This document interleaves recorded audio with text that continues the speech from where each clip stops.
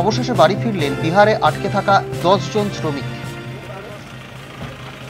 অবশেষে রাজ্যে ফিরলেন বিহারে আটকে থাকা দশজন শ্রমিক। তারা বিহারের মধুবনী জেলাতে নল জল যোজনার কাজ করতে তিন মাস আগে যান। লকডাউন চলার কারণে কন্ট্রাক্টর কিছু টাকা দিয়ে পালিয়ে যান। ফলে সেই টাকা শেষ হয়ে যায় আর কন্ট্রাক্টরের দেখা মেলে না। এমতাবস্থায় দশজন মিলে পায়ে হাঁটা শুরু করে। এমন ফেসবুক সোশ্যাল মিডিয়াতে তাদের অসুবিধার কথা ভাইরাল হয়।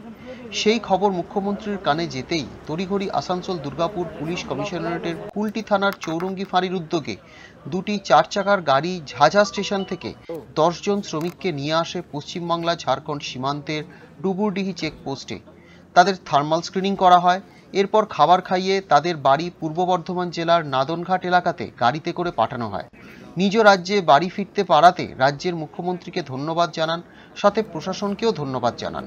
দীপক দেবনাথ নামে ওই শ্রমিক জানান রাস্তাতে আসতে আসতে খুবই আতঙ্কিত হয়ে থাকতাম স্টেশনে থাকতে দিত না জঙ্গলেই রাত কাটিয়েছি। প্রশাসনের কাছে সহযোগিতা চাইতে গেলে এলাকা ছেড়ে যেতে বলে। তাই আজকে নিজ রাজ্যে এসে তাদের আনন্দের সাথে মুখ্যমন্ত্রী মমতা ব্যানার্জি ও রাজ্য প্রশাসনের প্রচেষ্টাতে ফিরে আসাকে ধন্যবাদ জানাচ্ছেন। মানে কোথায় ছিলে? আমরা বিহারের মধুবনী ডিস্ট্রিক্টের জল নল জল যোজনার কাজে গেছিলাম। ওখান থেকে ঠিকাদার আমাদের লকডাউন লকডাউন হয়ে যাওয়ার কারণে কিছু পয়সা দিয়ে চলে যায় তারপরে আর আমাদের ফোন ফোন তোলে না। আমরা ওখান থেকে বিগত দশ দিন পায়ে হেঁটে ঝাঁঝাতে পৌঁছাই। ঝাঁঝা কবে পৌঁছেছিলে? ঝাঁঝা আজকে সকালবেলা পৌঁছাই। ওখান থেকে আমাদের আমাদের বাংলার মুখ্যমন্ত্রী মম- মমতা ব্যানার্জি ওনার উদ্যোগে আমাদেরকে ঝাঁঝা থেকে নিয়ে আসা হয় পুলিশ প্রশাসন দ্বারা। আমরা এখন আসানসোলে এসে পৌঁছাই। তোমরা কি চিন্তা ভাবনা করেছিলে যে বিভিন্নভাবে তোমাদেরকে নিয়ে আসা হবে? না স্যার আমরা এইভাবে ভাবিনি যে আমাদেরকে এইভাবে নিয়ে আসা হবে।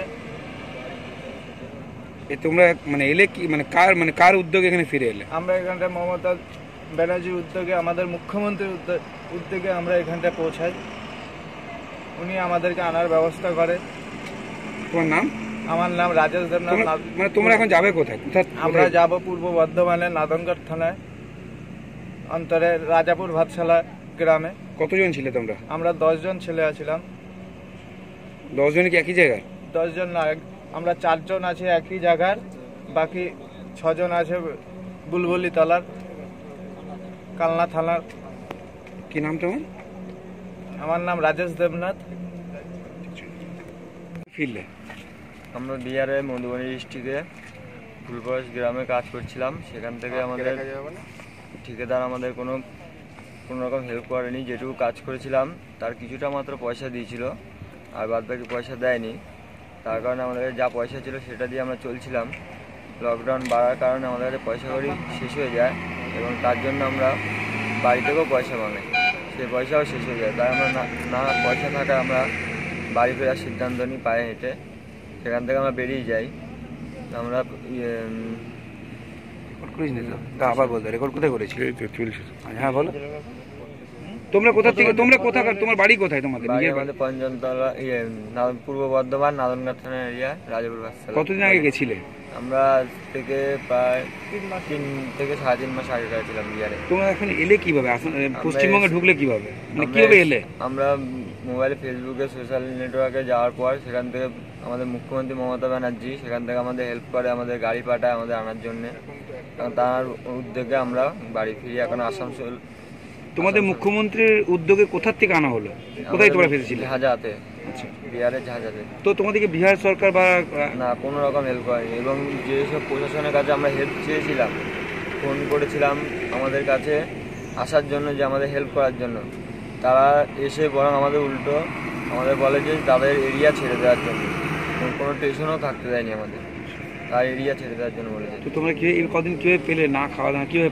খাওয়া দাওয়া যা ছিল পয়সা করি তাদের বিস্কুট বিস্কুট কিনে খাচ্ছিলাম। এবং কেউ রাস্তায় যে রাস্তায় কিছু ভালো মানুষও পেয়েছি কিছু খারাপ মানুষও পেয়েছিলাম। কিছু ভালো মানুষরা খাওয়া দাওয়া দিয়েছে কিছু লোক দেয়নি। কোনো সরকারিভাবে হেল্প পাবনি কোনো হেল্প পাইনি আর আমাদের কোনো স্টেশনে মানে জিআরপি বালারা কোনো স্টেশনে থাকতে দেয়নি। দুই এক এখন কিছুটাই আসার পর তারপরে থাকতে দিলাম আমাদের। গৌরহল্লি স্টেশনের পর গোয়ালি থেকে স্টেশনের পর থেকে আমরা থাকতে দিয়েছি। আর আগের স্টেশনগুলো আমরা প্রতিদিন রাত জঙ্গলে কাটিয়েছি। মানে খুব আতঙ্কে পেরিয়েছে। এখন কি তোমরা শান্তি পেলে এসে? হ্যাঁ। খুব শান্তি হয়েছে আমার ঘরে যেতে হয়। তোমরা দিদিকে কি বার্তা দেবে দিদিকে কি বলবে অসংখ্য ধন্যবাদ দেওয়া কি নাম তোমার দীপক দেবনাথ